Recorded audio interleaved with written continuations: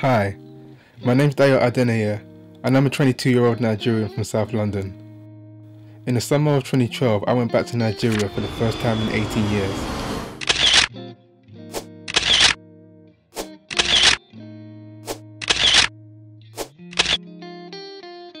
Even though I had a good time, it made me realise that I'm not really in touch with my culture. I mean, I can't really speak Yoruba, my parents' language.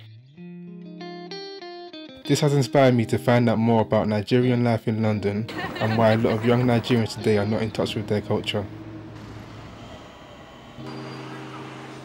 According to a recent census, Peckham in South London is home to the highest Nigerian community in the UK. I went there to meet Rachel Shonde, who grew up in London in the 70s and now resides in the area. I was born in Lewisham Hospital um, in 1970. I don't remember the day, so don't ask me what, what, what I was like. But yeah, um, I was born in Lewisham, brought up in Lewisham, went to school in Lewisham. Um, so really, uh, Lewisham was my world. I mean, we were not taught um, Yoruba, we were not encouraged to speak it and um, we didn't really have uh, Nigerian speaking friends. So, as far as we were concerned, Lewisham was the world, and everything was English, everyone was English. Um, I didn't even know I was a different skin colour.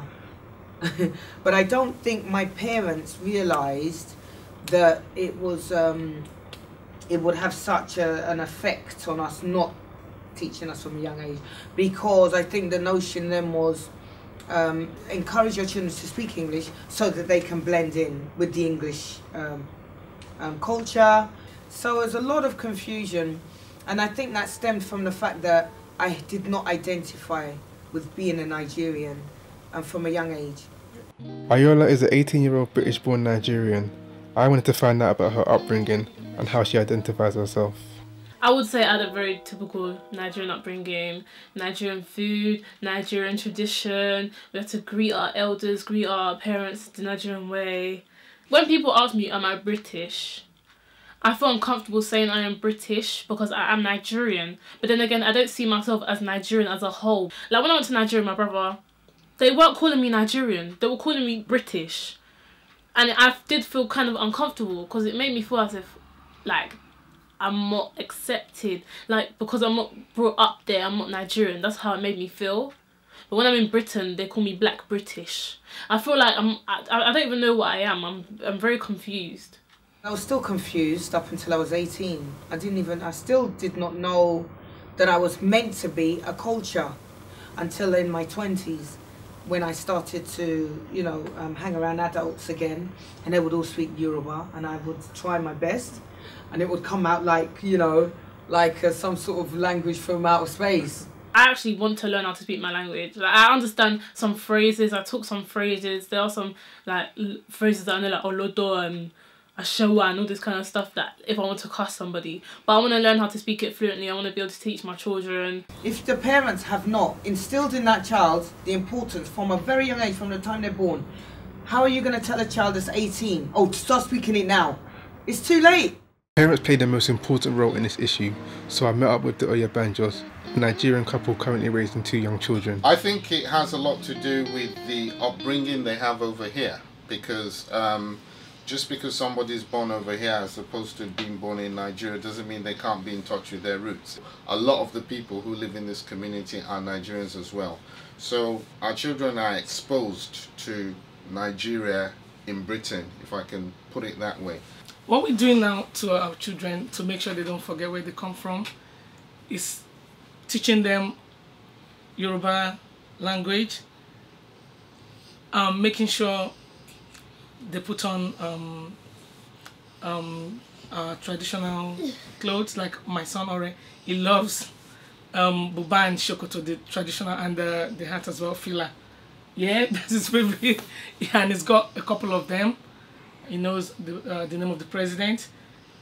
In, Jonathan. Jonathan, yeah, and in, yeah. So, you know, by telling him what goes on in Nigeria and by speaking the language to him, yeah. Finally, I headed to Stratford to meet Alex, the founder of Iroko, a company which offers an alternative way to learn about Nigerian culture. The aim was to use African theatre you know, incorporating storytelling, drama, music, dance, arts and craft as a vehicle to help enhance the education primarily young people. Sadly, uh, some of our community events, you'll find that the majority of people that will be there are, are non-Africans. So we cut across uh, different background because uh, the art form now becomes a way of getting people together, enabling people from other nationalities to taste Africa. And whereas for the Africans, um, so for some of them, it becomes a, a journey of a discovery. In, some cases, it's about people getting in touch again with their culture, especially for the younger ones. Um, why the young people are not interested in the culture?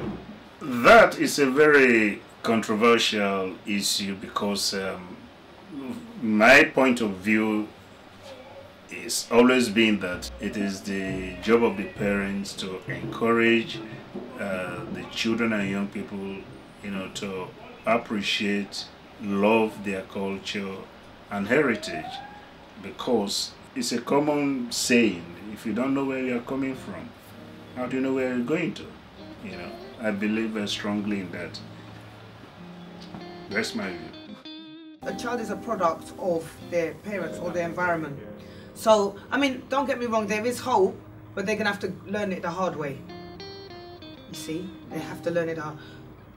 What we're trying to do here is to try and change the mindset of certain parents who neglect the African culture, who neglect the um, the importance of the Nigerian culture, showing that to their kids.